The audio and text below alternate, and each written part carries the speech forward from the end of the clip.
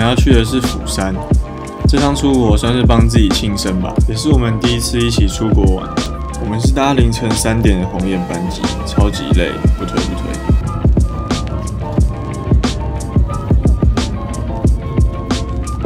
我们的第一站是西面站，先到西面站换个钱，然后在地下街随便晃晃。晚餐是西面的 p o t o c h o n 的韩式烤肉，店门口还蛮有特色，但菜色内容我觉得普普。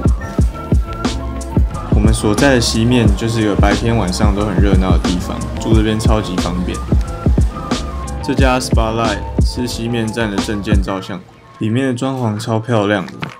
有男生女生的西装跟套装可以换。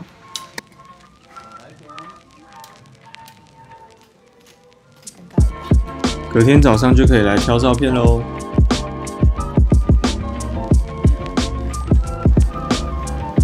第二天要来吃有名的双胞胎猪肉汤饭。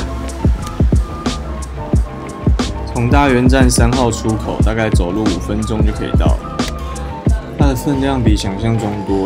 一个人一碗可以吃很饱，但猪味蛮重的，怕腥味的人自己要斟酌一下。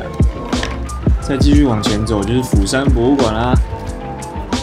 我们特别挑免费的礼拜六来，还有预约茶道和韩服体验，好玩的。博物馆对面就是鼎鼎大名的善良章鱼，它的店面是合适装潢风，直接坐在地板上。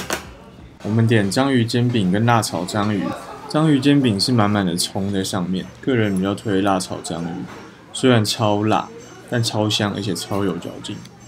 我们这次其实有点算挑错时间，买完机票后才发现这时候是釜山烟火节，所以想说既然机票都买贵了，不如就来看一下吧。我们纯粹来凑热闹的，所以大概看了十分钟就走了。还蛮漂亮的，如果有兴趣的，可以到 KKday 提前购票哦。今天来逛了釜山大学商圈，想来推荐一家古着店给大家，位在商圈内 Cafe Two 这家店的对面，店家位在地下室，一走进来就闻到很浓重的古着味，上衣、裤子、外套都有，价格也很便宜。而且都还蛮好看的。我们一不小心就买了三大袋，继续往釜山大学的方向走，来吃校门口旁的名物吐司。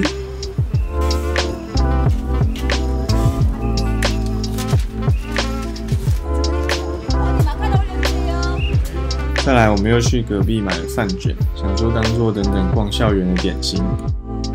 进来就要走一个大斜坡，走上来之后就在球场边看他们打球，蛮无聊的。然后在附近晃到晚上，等跟房东吃饭，这经历还蛮酷的。之后会做一支釜山住宿片，特别介绍一下。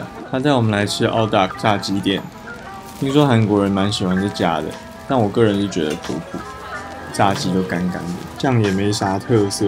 吃完后就回家睡觉啦。新的一天，今天要来海云台。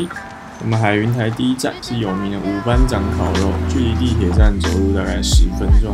整体来说分量不多，但肉都很有味道，很香。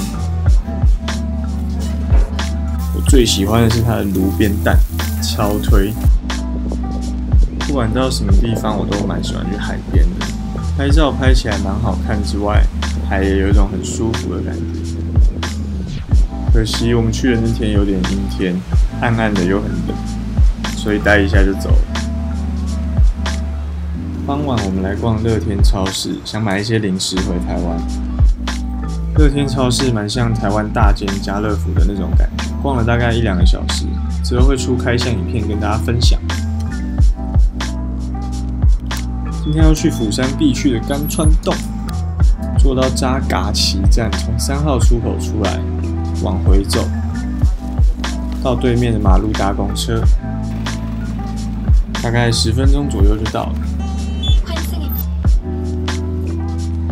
入口的这间袜子店超好买，我们直接爆买代购一波。这里怎么拍都蛮美的，但主要也就是拍照而已。拍完照就下山喽。最后一天，七天假一下就放完了，一直没吃到活章鱼，所以最后一天来吃济州家。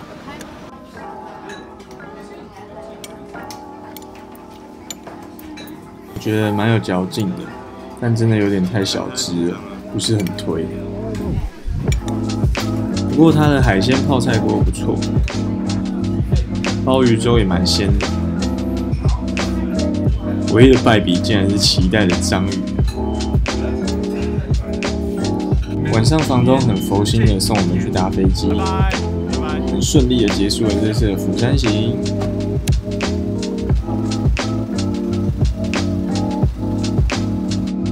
拜拜。